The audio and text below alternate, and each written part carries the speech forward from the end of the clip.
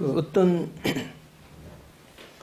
저기 교장 선생을 하셨던 분인가 그런데 사범학교를 간 졸업을 해가지고 이제 부임을 하면서 할아버지한테 인사를 하고 저 이제 저 그 떠납니다. 어디로 가냐? 어디에 학교 선생으로 갑니다. 그럼 뭐하러 가냐? 학생들 가르치려고 그럽니다. 그러니까 그 할아버지가 학생들은 가르치는 게 아니야. 그랬대요. 근데 그 말이 뭔지 몰랐는데 노인이 되고 나니까 알겠다는 거예요. 음. 가르친다고 되는 게 아니라는 거죠. 가르친다는 건 나는 잘났고 이쪽은 학생들은 뒤떨어지니까 내가 이제 제대로 가르치겠다 이런 뜻인데 그 가르친다는 것 자체가 이미 나와 학생은 이게 별개입니다. 너는 내한테 배워야 되고 난 널 가르치는 거고 이렇게 되는데요. 제대로 되는 선생은 가르치는 게 아니고 그냥 하나가 되는 겁니다. 학생과 하나가 한 마음이 되는 거. 한 마음이 되면 가르치는 게 아니고 받들게 됩니다. 한 마음이 되면요. 부모가 자녀한테 한 마음이 되면 자녀를 받든다고요. 자기가 희생을 하고요. 그러니까 학생하고 한 마음이 되면 늘 학생이 지금 어떤 상태인지 안다고요. 어, 학생들 좀 되게 피곤해 하는구나. 그럼 우리 좀 쉬자라든가요. 아, 덥구나 지금. 그러면 나가서 시원한 데 가서 우리 저 좀 그늘 밑에 가서 좀 시원하게 바람이라도 쐬자. 이렇게 가야 됩니다. 그러면 학생을 깨우치는 게 아니고요. 자기가 바뀝니다. 학생이. 그러니까 학생은 이제 자기와 한마음 돼주는 사람이 선생이 한마음이 돼주면 그 선생이 제일 좋은 거죠. 자기를 자기보다 더 잘 이해해 주는 사람이 제일 좋은데요. 그러면 아 나도 저 선생 닮고 싶다. 그럼 어떻게 되냐? 자기가 바뀌어야 닮죠. 그래서 남이 그 사람을 못 바꿉니다. 자기가 바뀌어야죠. 그러면 이제 어떻게 바뀌도록 하느냐? 그 하늘 마음을 가지고요. 받드는 겁니다. 그 방법 외에는 없다. 그래서 그 주자가 명명덕 신민을요. 명명덕 신민이라고 해버렸죠. 신민은 백성을 새롭게 만드는 거라고요. 바꾸는 겁니다. 근데 친민은 뭐냐? 이거 친은 하나 되는 겁니다. 백성들과 내가 하나가 된다. 한 마음이 된다. 그러면 나는 가만히 있어도 백성들이 바뀝니다.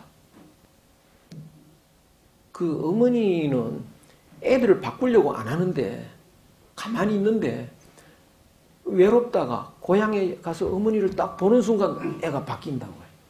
스트레스도 풀리고 행복해지고 기분 좋아지고 그건 엄마가 그렇게 시킨 것도 아닌데 마음이 그런 겁니다. 한 마음이 돼주면 저절로 바뀌는 거죠. 그것이 친민인데 주자가 이거를 이제 신 그래서 바꿔야지 이래 버렸는데요. 그래서 세상을 바꿔야지 이런 말 많이 하는데 그거 다 문제가 좀 있습니다. 내가 어떻게 세상을 바 꿉니까? 그죠? 그래서 내가 부처님처럼 가만히 있기만 해도 세상이 바뀌어야죠. 그럼 이 세상이 왜 이렇게 안 바뀌냐? 내가 문제가 있다. 이렇게 되는 겁니다. 철저히 그 길로 간 사람이 퇴계 선생이죠. 그래서 세상을 바꿔야지. 이래 갖고 야 되겠냐, 이 세상이. 그러면 그게 이제 그 문제가 되는데. 그래서 율곡생의 문제점은 바로 그거다. 그래서 되게 그 세상을 바꾸기 위해서 헌신해서 온 힘을, 혼신의 힘을 당해서 뛰어다닌 사람하고 자기 마음 바꾸려고요. 가만히 참선하고 있는 사람하고 누가 더 훌륭한 사람이냐? 되게 뛰어다닌 사람이 훌륭하다고 생각하는데 그건 아닙니다. 오히려 세상을 더 혼란시킬 수가 있고 그래서 그냥 선방에 혼자 참선을 계속하고 있는데 보니까 부처님 얼굴이 돼 있더라. 그러면 그 사람이 제일 훌륭한 거죠. 세상이 바뀌고 이렇게 되는데 역시 유고생의 그 문제가 거기에 있는데요. 이중경이라는 그때 영의정 했던 분인데 굉장히 그 뛰어난 사람이고 세상을 보는 안목이 굉장히 높습니다. 그래서 그 그분이 돌아가기 직전에 상소문을 올립니다. 붕당의 조짐이 있습니다. 내가 죽었 죽는 마당에 그 바른, 바른 말씀 드리고 죽어야 되지 않겠습니까? 그래서 그 붕당의 조짐이 있는데 붕당은 이게 나라 망치는 거거든요. 그러고 이제 돌아가셨는데 그 선조가 이준경의 동고 선생인데요. 동고의 그 유서죠. 죽, 죽으면서 남긴 상소인데 그걸 보고 굉장히 놀랐습니다. 이거 큰일 났다 이거죠. 붕당이 있으면 이 조정이 어지러워지고 이거 나라가 곤란해지는데 이거 어떻게 하면 좋겠냐.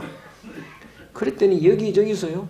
말도 안 된다는 소리라고 막 항의를 하는데 율곡이 여기서 아주 그냥 그 굉장히 그 강하게 비판을 합니다. 그 율곡이 그 말도 안 되는 소리. 근데 율곡은 넌지시 그 붕당이 일어나는데 이러이러한 사람이 이러이러하게 일어난다는데 그게 자기를 두고 하는 말 같이 느껴졌다고요. 또 그럴싸한 말이 나옵니다. 그래서 율곡이 굉장히 그 반박하는 상소문을 왕한테 올리죠. 그런데 딱 3년도 안 됐어요. 바로 터져버렸습니다. 3년 만에 그게 현실이 되어버렸습니다.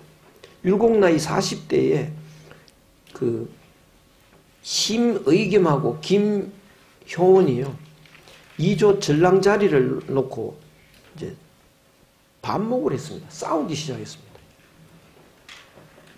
2조 전, 전랑이라고 하는 것은 그 2조 정랑하고 좌랑을 합쳐서 전랑이라고 하는데요. 종, 정오품이기 때문에 아주 낮은 직책입니다. 2조 전랑이요. 근데 이것이 뭐냐면 왕을 왕한테 간하고 왕이 잘못됐다고 계속 이제 시비 걸고 막 이런 그게 삼사라고 하는 데가 있습니다. 삼사 그 삼사에 그 인사권을 쥐고 있습니다. 이 전랑이요. 왜그 낮은 직급에서 인사권을 갖고 있냐? 삼사가 이게 그 정치를 하는데 굉장히 그 영향력이 크니까 영의정이 그걸 임명을 하면 영의정한테 그 권력이 이렇게 집중이 되죠. 그래서 아주 낮은 직급한테 인사권을 줘버렸다고. 그게 이제 이조 전랑인데요. 그 홍구파가 득세하고 있을 때는 그 이조 전랑은 까마득한 그, 저, 정치의 대선배들이 있으니까 그냥 그거는 그, 그 사람들 이 안목에 맞게 그냥 기계적으로 처리를 해 왔다고요. 근데 훈구파가 싹 사라지고 이제 사림들이 정권을 독점하게 됐지 않습니까? 사림들이 독점하니까 그 아직 서열이 정해지지도 않았고요. 세물이 확 이제 정권을 정권에 들어오니까 그 중에 이제 사림이 정권을 이렇게 다 차지하고 나니까 사림 중에 사실은 사림 아닌 사람들이 대거 들어와 있는데요. 어떤 사람들이냐? 뭐, 그, 사림들의 제자들이 쫙 사림의 이름으로 탈을 쓰고 들어왔지만, 목적이 입신 출세인 사람들이 있습니다.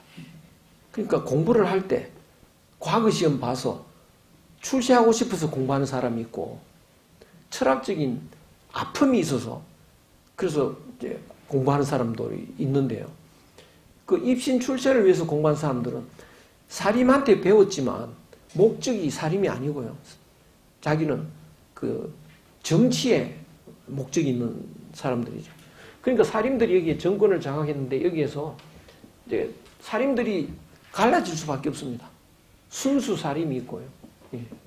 사이비 사림이 있습니다. 그러니까 여기서 누가 이제 정치 주도권을 잡느냐 이렇게 판 편이 갈라지게 되는데 이때 주도권 잡으려면 인사권이 중요하죠. 그래서 이조 전랑이 굉장히 이제 주목을 받게 됐습니다. 그래서 이제 인사권이 이제 중요하게 됐는데 이제 먼저 그 이거 보면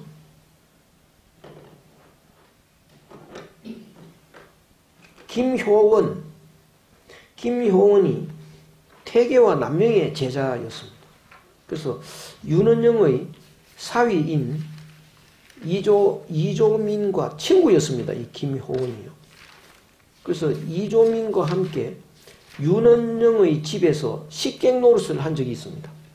친구 장인 집이니까 뭐 집도 크고 하니까 거기서 좀밥 얻어먹고 좀 지낸 적이 있었던 거죠. 근데 그때는 윤원영 집에 가서 밥 한 끼 얻어먹었다. 그것도 이제 다 비판의 대상이 되는 때니까 거기에 이제 약점이 된 겁니다. 그래서 김효원이 이조 전랑으로 추천이 되자 심의겸이 그가 윤, 윤원영 집에 식객으로 있었다. 그것을 이제 이유로 반대를 했습니다. 음. 그런데 이제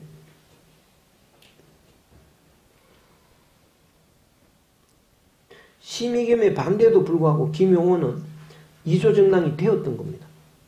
그 뒤에 이제 심의겸에 대해서 좀 그 곱게 생각을 안 하는 건 있었죠. 그래서 그 뒤에 심의겸의 아우 심충겸이 2조 전랑 자리에 추천이 됐습니다. 그러니까 김용호는 심충겸이 외척이라는 이유로요. 왕비의 그 왕비의 동생인가 뭐 이랬죠. 그래서 반대를 했습니다. 그, 그 사이에 이제 골이 깊어졌으니까 그렇게 됐는데요. 그래서 두 사람이 이제 그 아주 갈등이 심해졌는데 김효원 편을 드는 사람, 심의견 편을 드는 사람 이렇게 이제 갈라지게 된 겁니다. 김효원의 집이 서울 동쪽에 있어가지고요. 동인이 됐고요. 심의겸의 집은 서울의 서쪽에 있어서 서인이 되어버렸습니다. 그래서 둘이 싸움이 붙었던 거죠. 율곡이 보니까 이제 큰일 났거든요. 이게 그 선비들이 그 편 갈라가지고 싸우면 이거는 보통 문제가 아니다. 그래서 심의겸, 김효원 이 두 사람을 외직으로 이제 발령을 해버립니다. 율곡성이요. 근데 그 자기가 자기하고 가까운 사람이 그 심의겸이잖아요. 예.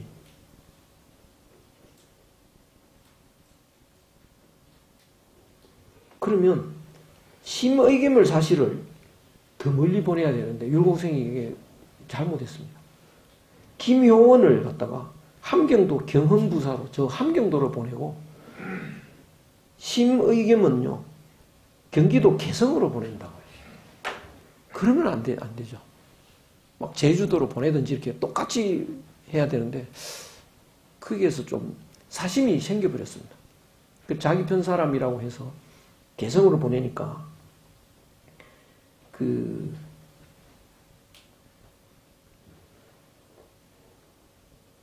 사람들이 이제 난리가 난 거죠. 그래서 그 율곡은 다시 개성으로 어, 그 멀리 함경도로 보냈던 김용원을 다시 좀 가까운 데로 옮기고 또 이발 예. 그 이발을 그 동인이죠. 이발을 전랑으로 해가지고 동인의 불만을 좀 해소, 해소하려고 이미 사람들이 감정이 격해지기 시작했습니다. 그래서 그 우리나라 사람의 이게 약점이기도 한데요. 한국인의 가장 깊 바탕에 예, 네가 내고 내가 너다 이것이 이제 깔려 있습니다. 그래서 너도 아니고 나도 아니고 우리 이렇게 되는데요.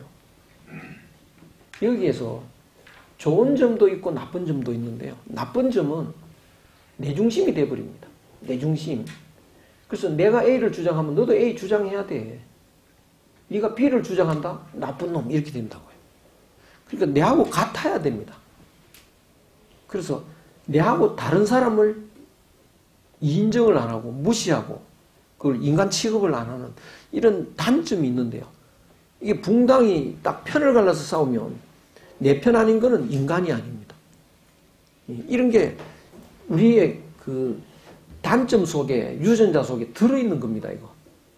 그래서 당군이 훈시할 때 이걸 굉장히 주시 그 편갈라 싸우면 집안 망하고 나라 망한다. 그게 벌써 5천 년 전에 그 딱 꼬집어 놨는데요. 그거를 이제 어길 때 판판이 나라 망, 망했습니다. 그러니까 이건 보통 사건이 아닌 거죠. 그래서 아 이게 편갈라 싸우는 건 굉장히 위험한 거다 이거. 그러니까 그 자기 편은요 뭘 나쁜 짓 해도 용납을 하고요.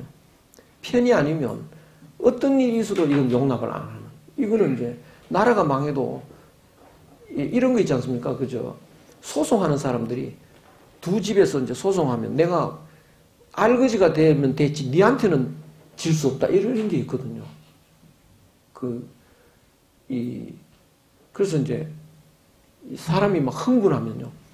한국 사람은 물불을 안 가립니다.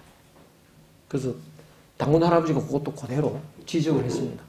사람이 흥분해가지고 그 밭에 막 곡식을 불태우면 이거는 돌이킬 수 없는 일이 일어난다. 그래서 우리도 뭐 흥분하면 뭐 남대문도 불태우고 막 이런다고요. 우리나라 사람들이. 그래서 당바싸움 하면 나라도 불태웁니다, 이거. 음. 그래서 지금 이게 큰일이 나버렸습니다, 이미.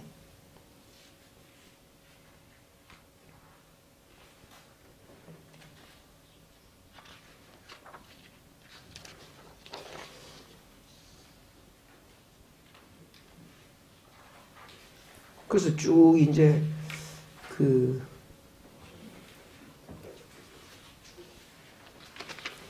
쭉 정리를 했는데요.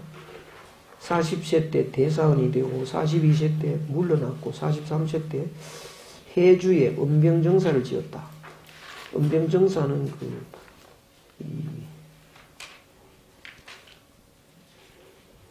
주자 주자의 그 주자 무의구곡에 은, 은병산이 있습니다. 거기서 이제 따가지고 은병정사를 짓고 구자에 무의구곡가가 있는데요. 거기에 따서 어,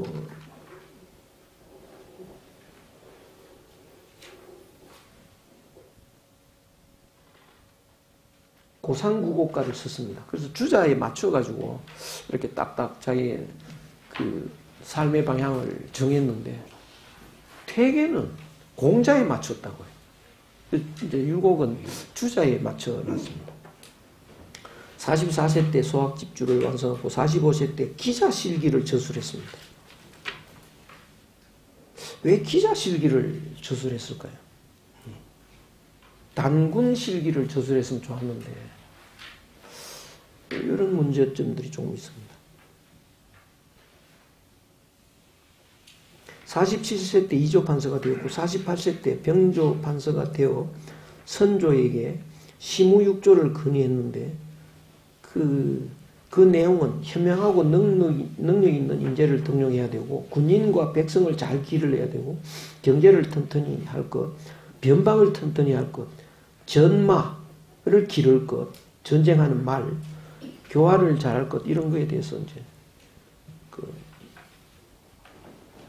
건의를 하고 48세 때 율곡을 두고 율곡을 탄핵하는 세력과 옹호하는 세력 간에 또 논란이 일어났습니다.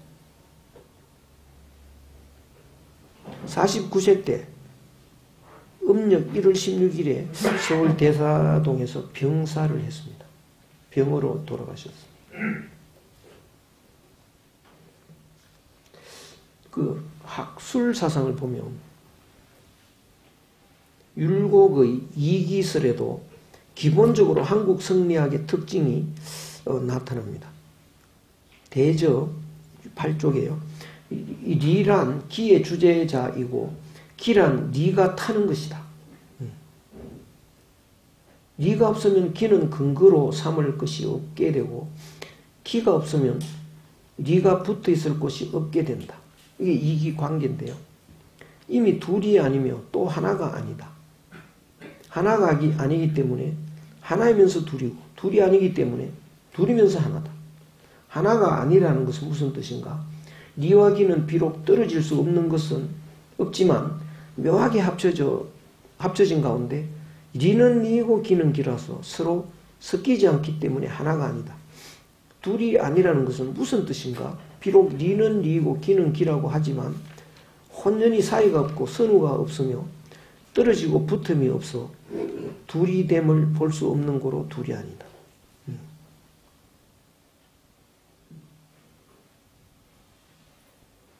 이렇게 이기에 대해서 설명을 하는데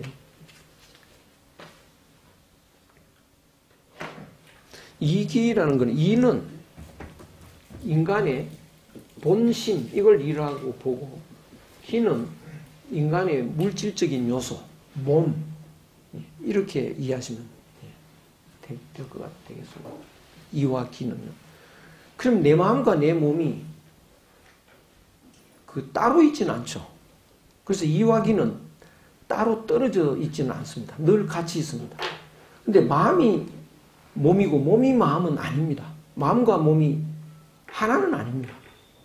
그래서 이와 기는 이하고 기는 같지는 않지만 떨어진 적은 없다. 이렇게 그런 설명이죠. 그래서 마음이 몸에서 떨어진 적이 없지만 그 그렇다고 해서 또 하나는 아니다. 그리고 마음이 몸을 움직이는 거니까 마음이 없으면 몸 혼자서는 움직일 수도 없다. 그래서 몸이 움직이는 건데 그 움직이게 하는 건 마음이다. 이런 설명입니다.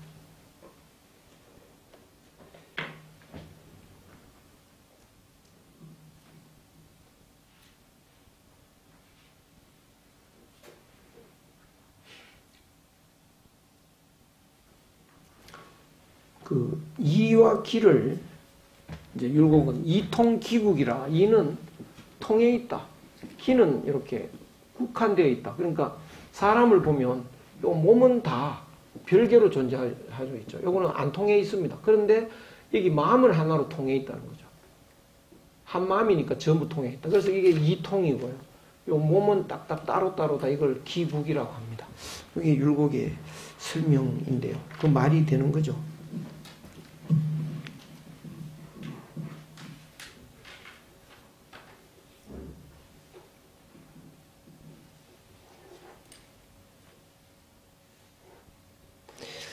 여기에서 이제 구 쪽에 한번 보시면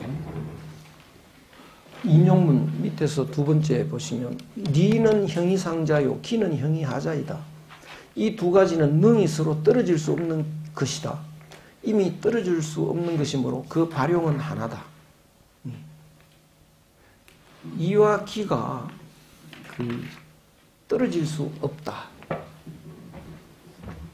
항상 리와 기는 하나로 되어 있습니다.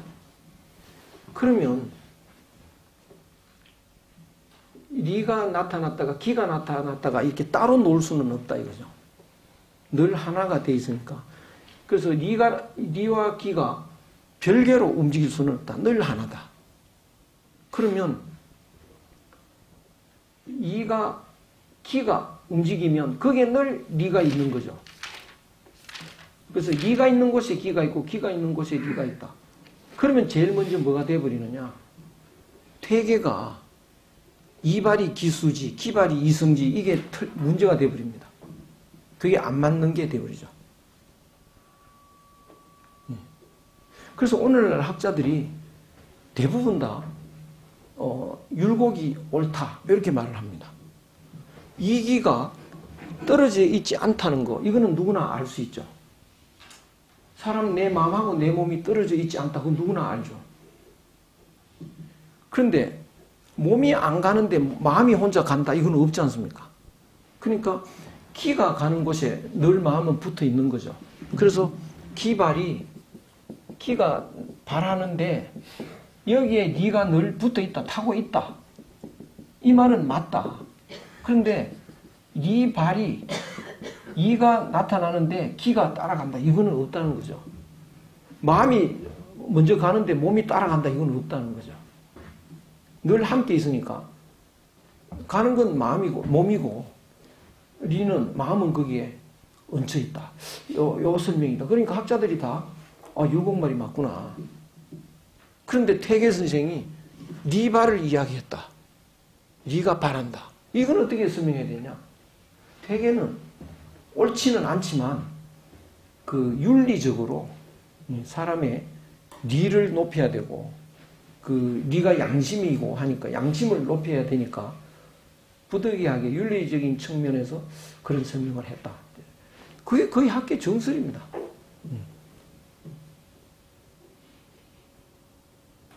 그런데 이와 기를 마음과 몸으로 이제 이렇게 그 볼 때요. 이거를 자동차에 운전 기사하고 자동차로 봐도 됩니다. 그렇게 또 봅니다. 또 유곡도요. 그러면 움직이는 건 항상 자동차 아닙니까? 항상 자동차죠.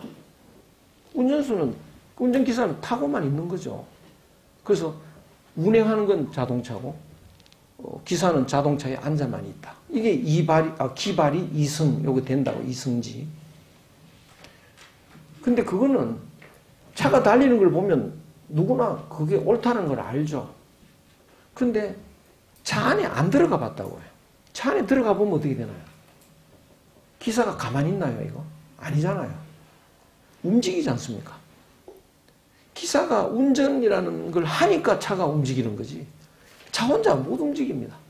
기사가 움직인다고요. 그런데 기사는 땅을 움직이지는 않습니다. 차 안에서 조작을 하는 거라고요. 그래서 차 안에 문제는 율곡은 돌아보지 않았다는 거죠. 그럼 차 안을 왜 돌아봐야 되느냐? 내가 하늘 마음처럼 되려면 내 속을 돌아봐야 됩니다. 내 속을 들여다보고 이 마음이 내 마음이 하늘의 마음인지 내 욕심인지 이걸 분간을 해야 된다고요. 그래서 내 마음이 욕심이 작동한다 그러면 이거는 걷어내고 하늘 마음으로 채워야 된다. 이것이 태계수행의 목적입니다. 내가 하늘하고 하나 되는 거. 이게 목적이니까 이 몸이 움직이는 거 이거는 관심 바뀌고요. 내 마음에 초점이 관심이 집중되어 있다고요. 그럼 현재 내 마음이 이 욕심과 본심 어떻게 다 다른 거냐 이게.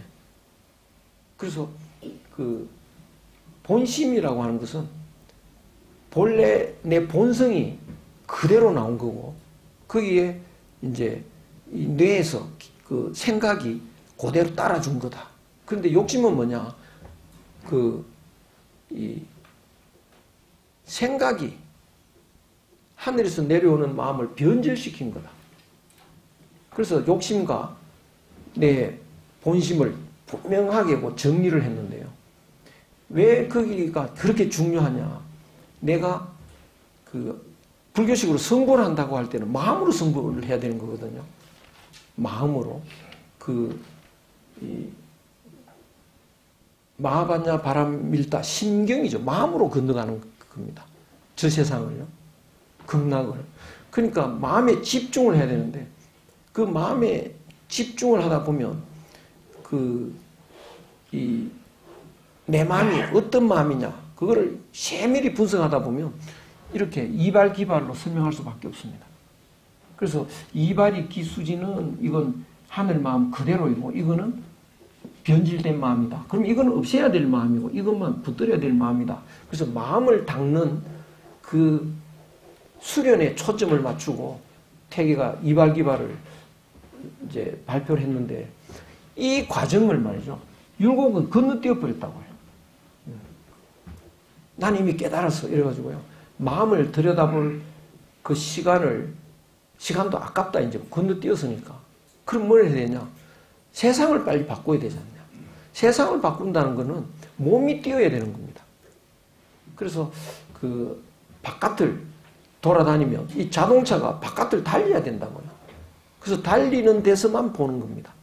그러면 그 이는 움직이는 게 아닌 게 돼버리죠. 기만 움직이는 겁니다.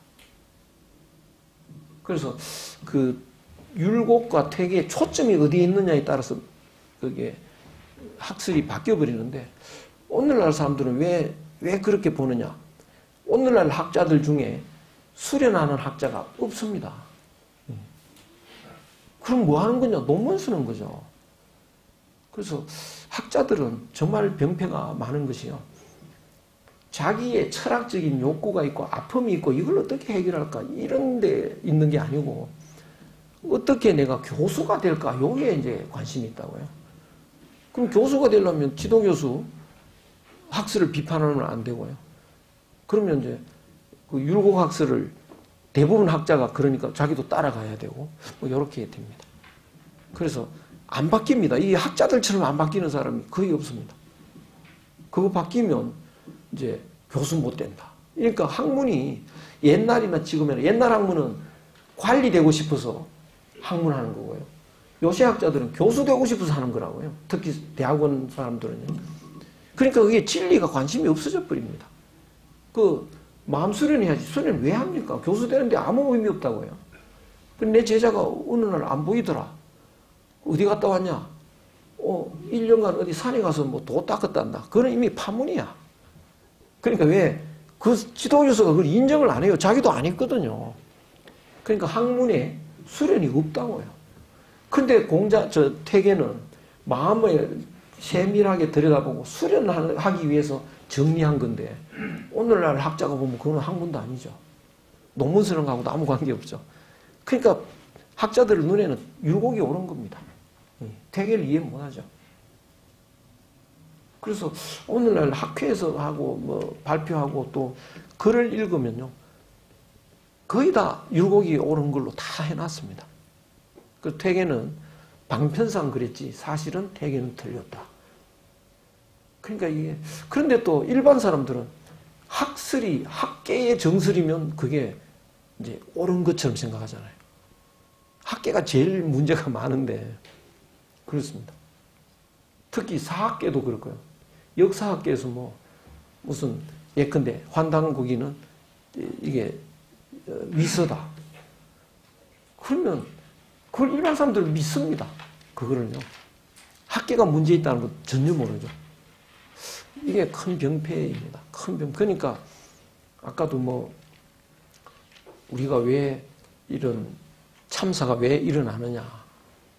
학계에서 이런 정신적인 걸 좀 이렇게 뿌리를 내려주면 사람들이 무게감이 있게 된다고요.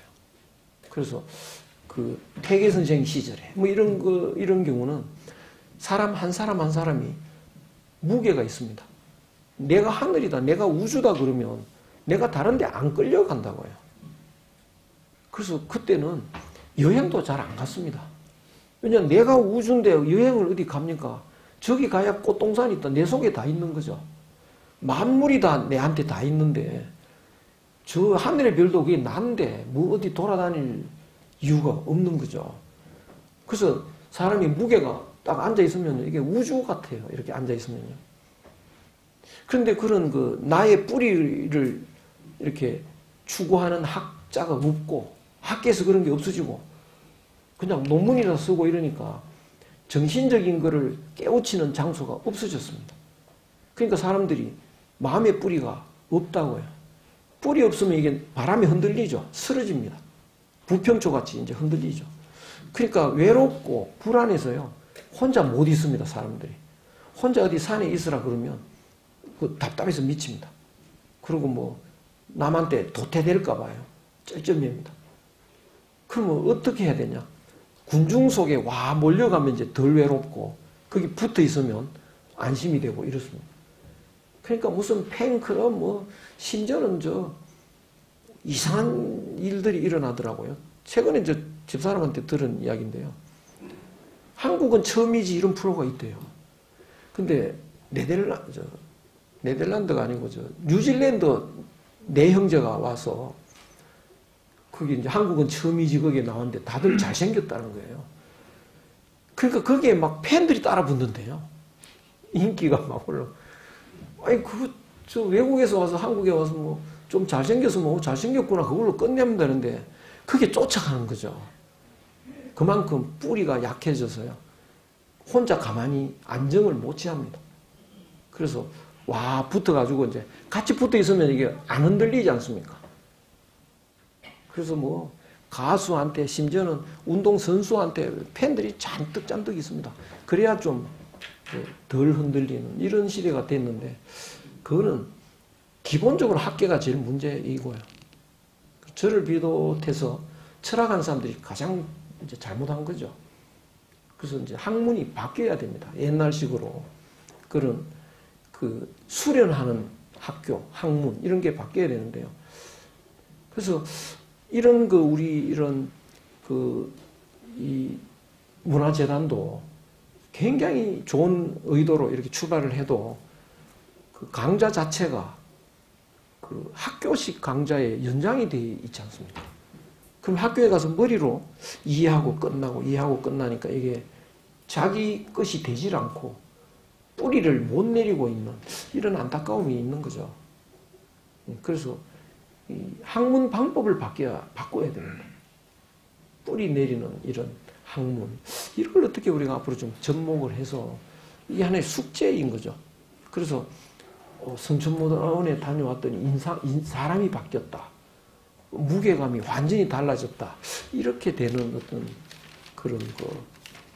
어떻게 하면 그게 될까? 그게 좀 아무 데도, 어떤 데도 없고요. 인성 그 지능법인가 법이 생겨가지고 이제 곳곳에서 인성 영, 그저, 인성 교육을 하는데요.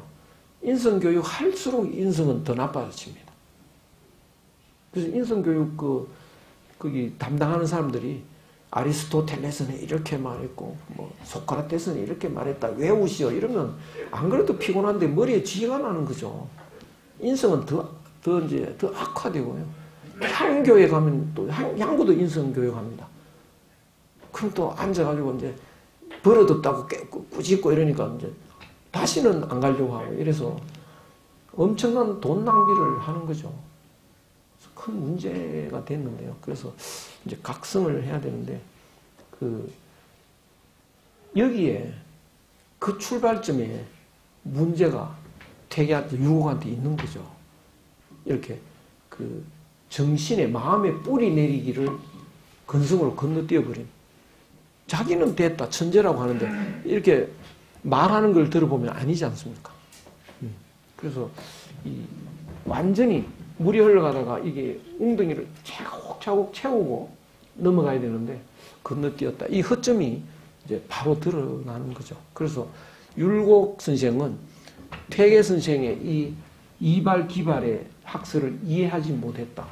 얼마나 퇴계성이 처절하게 마음을 하늘 마음으로 바꾸려고 노력했는지 그것에 대해서 관심이 없었다는 거죠. 세상을 빨리 바꿔야 되니까 세상을 뛰는 건 몸이지 마음은 타고 있을 뿐이지 마음이 뛰지는 않거든요.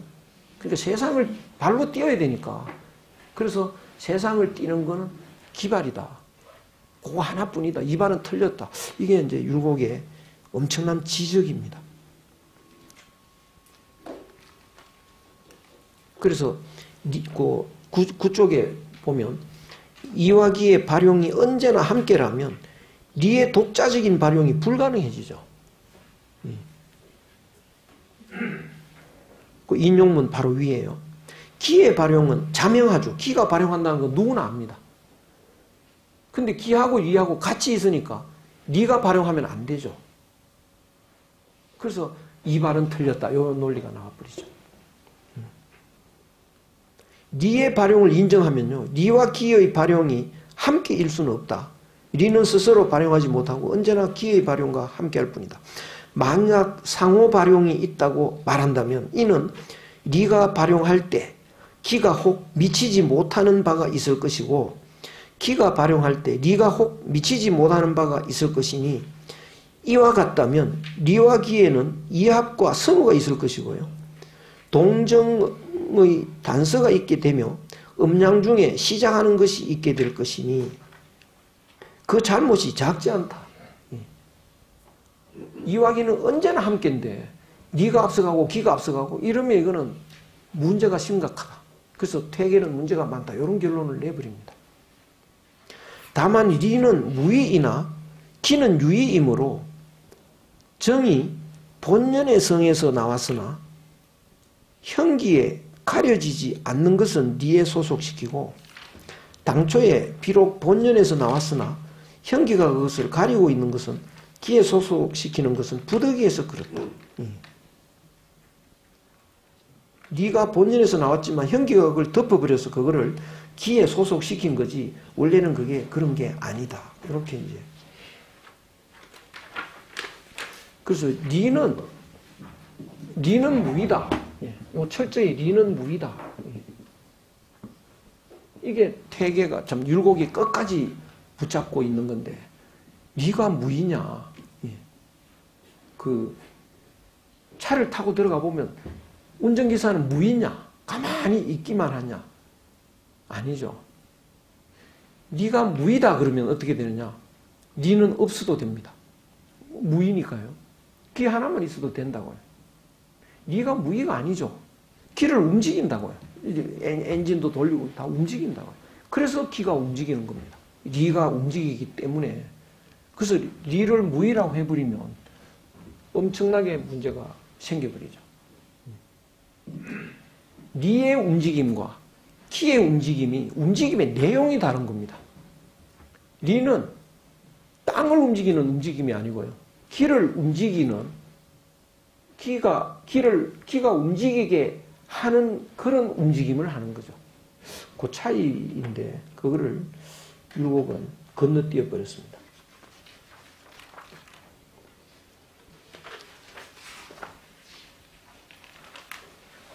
그 10쪽에 보면요. 그 인용문에 있죠. 퇴계의 병통은 오로지 호발 두 글자에 있으니 애석하다. 호발은 뭐냐? 이발, 기발 이래서 호발입니다. 기발은 괜찮지만 이발은 틀렸는데 왜 호발이라고 했느냐? 이것이 퇴계의 가장 큰 병통이다.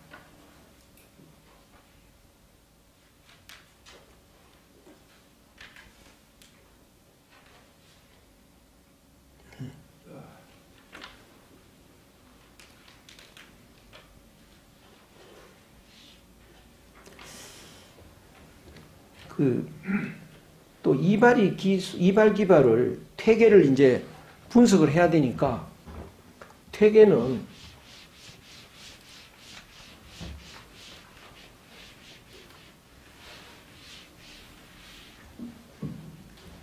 사담 칠증론이라는 걸 세밀하게 이제 정리를 해가지고 마음이 이렇게 있으면요.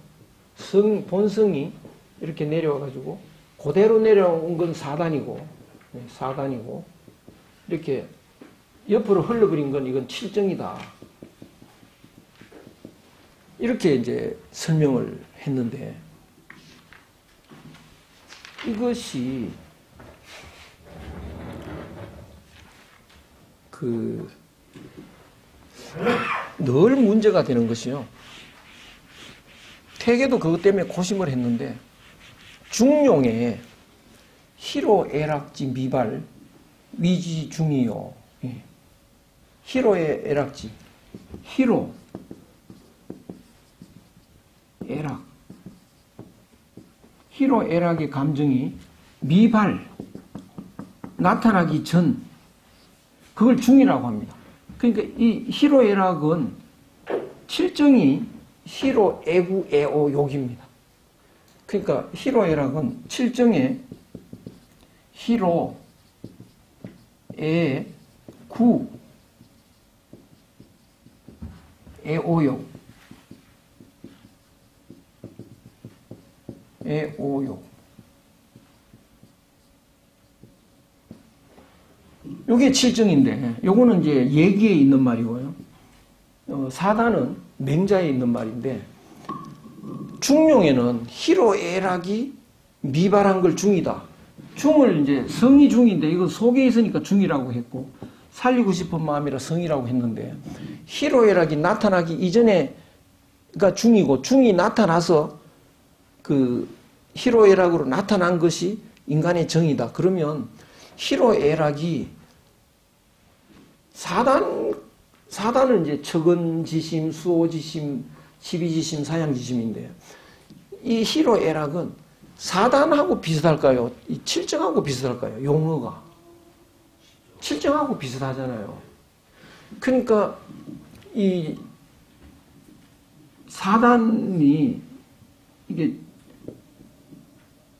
희로애락이 이게 중용에서 희로애락이 그 나타나는 것이 칠정하고 비슷하게 됐는데 내용적으로는 중용을 읽어보면 사단하고 비슷합니다. 내용적으로는요. 용어로 보면 칠정하고 비슷합니다. 여기서 이제 헷갈려 버리는 겁니다. 음. 왜 내용은 사단하고 비슷하냐면 희로애락이 나타나기 전에는 그걸 중이라고 하고 성이라고 해도 되죠. 근데 중이라고 하고 그것이 희로애락이 나타나서 밖으로 나타날 때 음, 중절하는 게 있고 중절하지 않는 게 있는데요. 중절하면 이게 조화를 이룬다라고 합니다. 그러면 희로애락이 나타나서 어떻게 중절을 하느냐? 절에 알맞게 된다. 요게 그러면 희로애락은 그 어떻게 하면 절에 알맞느냐? 예, 절에 알맞느냐? 절이라는 것은 마디절입니다. 마디. 마디라는 게 시간적인 공간적인 마디가 있습니다. 대마디처럼. 하루가 있으면 하루에 아침, 점심, 저녁 이것도 마디라고요. 마디. 그러면 아침이라는 마디에 알맞게 행동하려면 아침을 먹어야죠. 점심 때 알맞는 방식은 점심 먹는 거고요. 저녁 때 알맞게 행동하는 건 저녁을 먹어야 됩니다.